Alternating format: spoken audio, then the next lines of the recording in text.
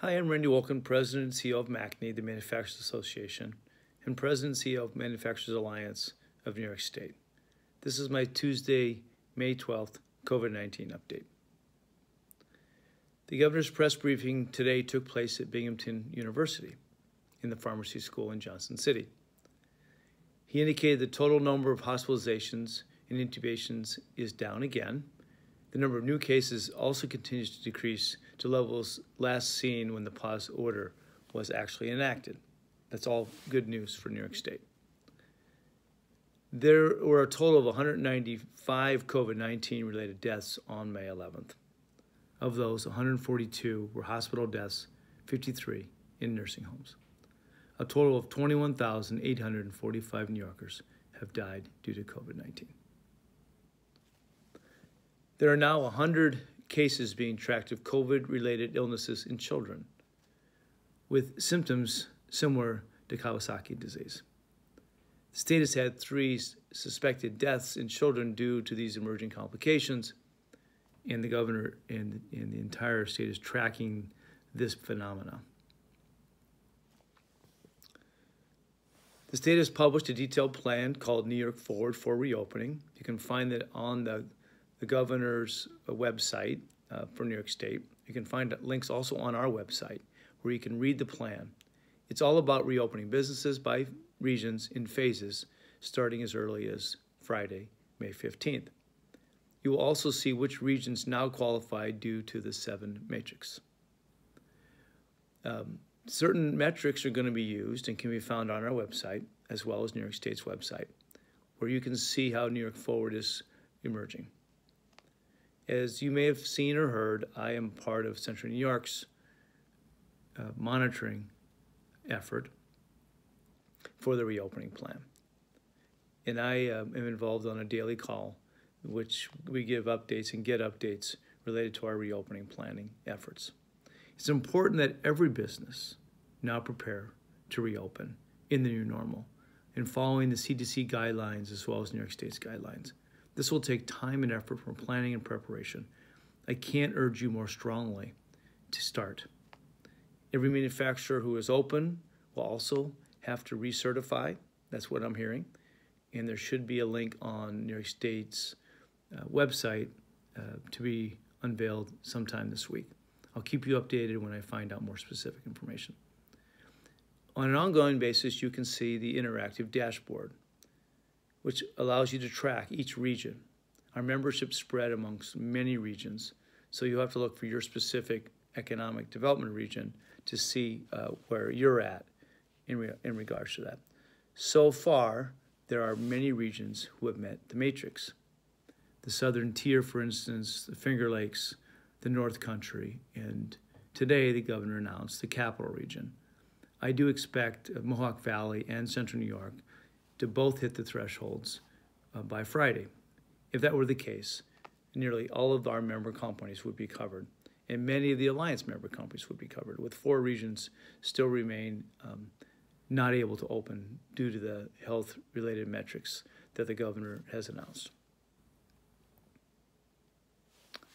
As the governor said, when each region amongst the 10 reach the metrics, they'll be allowed to reopen in phases, and that will continue based on the data collected in each region's control room. As I mentioned, I'm on Central New York, each region's control room. These are, these are a collection of local officials and regional uh, representatives who, whose job is to really gauge the public health threat levels as we begin to go back to work. Each further reopening or potential reclosing, should we have setbacks, will be, will be determined by the health, public health metrics. You can see a full list of all the regional control rooms uh, also on our website. Previously, it's been stated that the time between the phases of the reopening plan was two weeks. In response to a reporter today, the governor said that this is an estimated timeline between moving phases and will, will really depend on the metrics being tracked by the regional control rooms. Regions uh, will be allowed to go faster or slower than a two-week timeline depending on the data.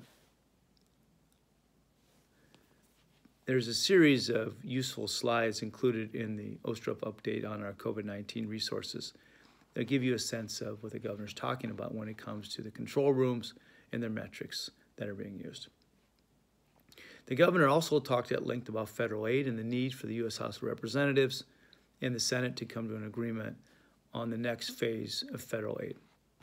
The governor continued to call for this for a phase four uh, COVID 19 response and he called for it to include federal funding for state and local programs.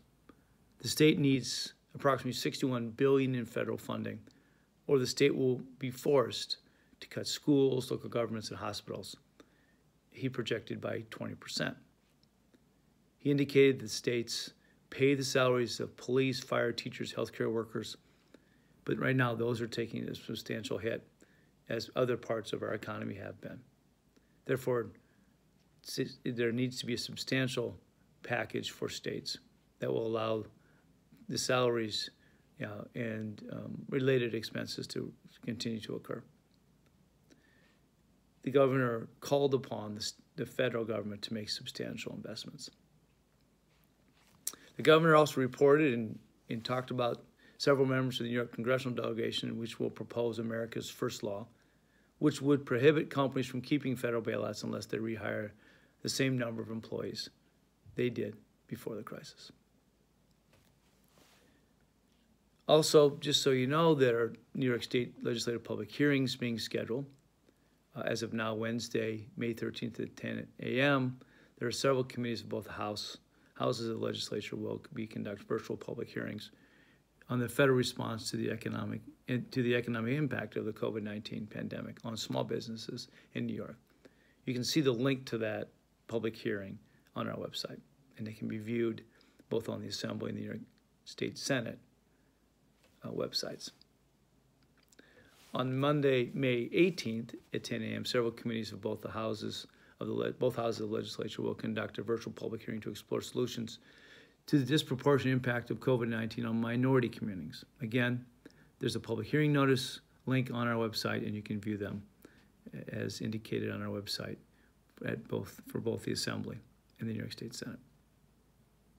There's some updated guidance to New York State Education Department. Attorney General has put out some guidance on, on, on unlawful evictions.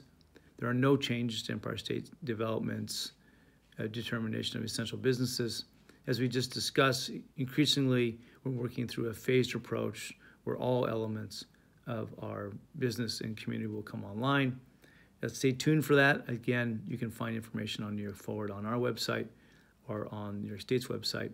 There are some updates to New York City uh, agency suspensions and reductions. You can again find all these resources laid out very nicely on our website. And we'll be adding a new feature to our website specifically around the New York Forward Plan, which increasingly is the plan to reopen our economy. It's absolutely critical we begin the process of safely reopening our community. That, and I mean in all aspects, we need to reopen our community. From what I'm reading and seeing, this is going to be a slow economic recovery. We need everybody to begin the process of making the transition. It's startlingly different than it was just two months ago. We're all going to have to roll up our sleeves and work hard together to get our economic house back in order. Uh, this pandemic has had a severe impact on the global national, uh, state, and regional economies.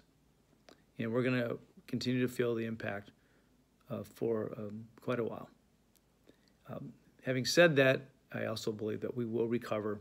We will again grow strong, and we will take some positive lessons, learnings, and understandings from this crisis, like every crisis that has hit upstate New York and New York State as a whole over the, the many decades in the past. MACNY will be here for you. MACNY will continue to provide you services as you continue to invest in your business and grow our community and serve our community. We look forward to doing that with you. As always, we'll be here for you. If you need any of us, please do reach out for us on macny.org or individually to staff members to include myself. Have yourself a nice evening.